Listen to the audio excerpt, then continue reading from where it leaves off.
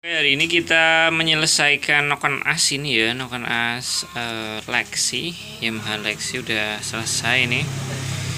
Udah di finishing, udah di dial juga ini. Ini angka-angkanya ini ketemunya ini. Nah, ini. ini nanti kita cari angka yang terbaik ya, biar motornya sesuai spek ini sih standar porting cuma standar porting ini cuma noken asnya pakai bahan